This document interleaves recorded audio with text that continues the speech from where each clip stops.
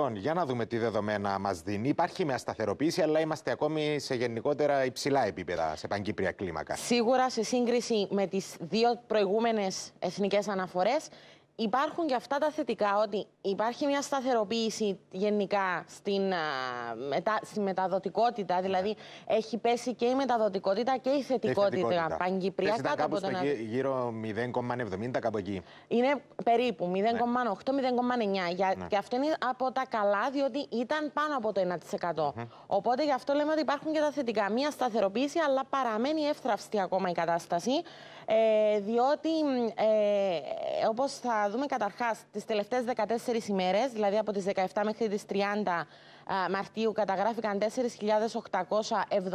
περιστατικά κορονοϊού ε, και το, τον Μάρτιο καταγράφηκαν συνολικά 28 θάνατοι ναι. ονουφρία με τελική αιτία την νόσο COVID-19 με το 89% να είναι στη Λεμεσό. Αν δούμε τις σχετικές κάρτες θα δούμε ότι καταρχάς Αυτές είναι οι επαρχίες, αυτό το οποίο αναφέρεται και για την Λεμεσό. Εντάξει, σίγουρα τα πιο πολλά περιστατικά είναι και πάλι στην πόλη της Λεμεσού. Ναι. Υπάρχει όμως μία μείωση, όπως ναι, βλέπουμε. Βλέπουμε την καμπύλη, η οποία κατεβαίνει κάτω. Έχει αρχίσει να παρουσιάζει μία πτώση. Φυσικά έχουν καταγραφεί 2.430 περιστατικά στην Λεμεσό, ένα ποσοστό που μεταφράζεται στο 50%. Ε, αλλά όπως θα δούμε έχουν αρχίσει να παρουσιάζουν μια αυξητική τάση οι επαρχίες της, ε, της Λευκοσίας και της Λάρνακας. Συγκεκριμένα η Λευκοσία το ποσοστό, είναι το κίτρινο χρώμα, εντάξει τώρα δεν φαίνεται και πάρα πολύ καθαρά γιατί οι καμπύλες μεταξύ τους βλέπουμε ότι είναι ναι, ναι, κάπως ναι. συνδέονται. Ε, στη Λευκοσία είναι, είναι πάνω από το 25%, δηλαδή είναι 1.240 περιστατικά. Υπάρχει μια αύξηση σε σύγκριση με την περασμένη εβδομάδα. Αλλά και η Λάρνακα ε, είναι κοντά στο 12,5% με 603 ναι. περιστατικά.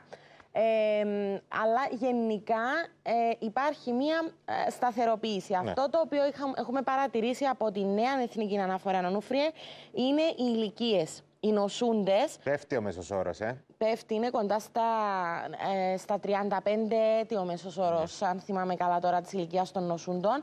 Οι ηλικίε 20 με 39 ετών, ε, βλέποντας τα, είναι κοντά στο 37%. Ναι. Δηλαδή έχει αρχίσει να πέφτει. Φυσικά παίζει ένα πάρα πολύ μεγάλο ρόλο το γεγονός ότι έχουν εμβολιαστεί οι, οι ευπαθείς ομάδες και οι ομάδες υψηλού κινδύνου, δηλαδή ηλικίε 80 ετών και άνω, 75 ετών και άνω, οπότε έχουν, ξε, έχουν θωρακιστεί mm -hmm. αυτές οι ηλικίες και έχουν μειωθεί τα περιστατικά. Ναι. Και φυσικά τα κρατικά νοσηλευτήρια που ακόμα και εκεί είναι ευθραυστή κατάσταση, διότι παρατηρείται, βλέπουμε μείωση κάποιες μέρες στις νοσηλίες και μια απότομη αύξηση την επόμενη μέρα. Μάλιστα. Οπότε εκεί είναι λίγο δύσκολα ακόμα τα πράγματα. Μάλιστα. Είχαμε και κρούσματα στην Αρχιεπισκοπή Νικόλ. Ε, ναι, ε, πριν από λίγο έτσι όπως ε, έχουμε δει ε, από site όπως ενημερώνουν ότι εντοπιστήκαν δύο κρούσματα λέει στην Αρχιεπισκοπή και άλλα δύο στην Ιερατική Σχολή.